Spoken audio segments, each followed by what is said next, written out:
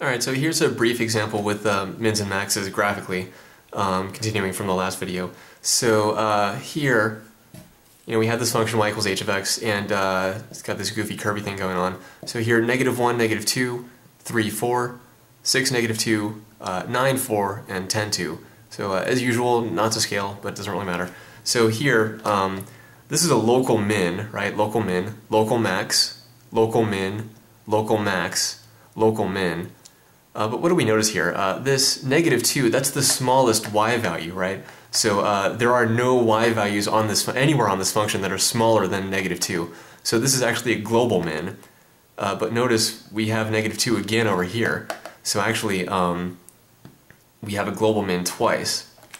But, uh, you know, there, there is only one global minimum value, okay, it's negative 2, but like we mentioned briefly in the last video, um, you could have that at multiple locations.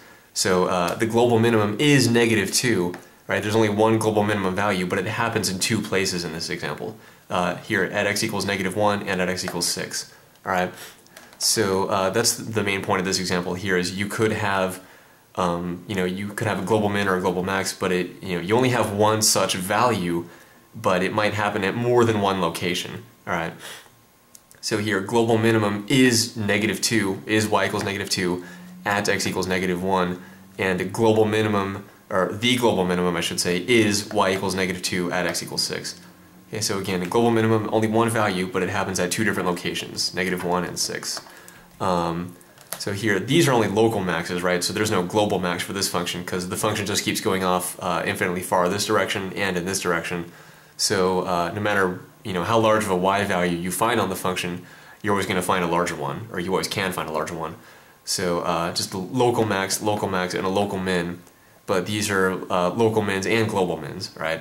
So uh, one last time, global minimum is negative 2 at negative 1 global minimum is still negative 2, but this time it happened, uh, it's happening at x equals 6. Right? So that's uh, example 2 graphically with mins and maxes.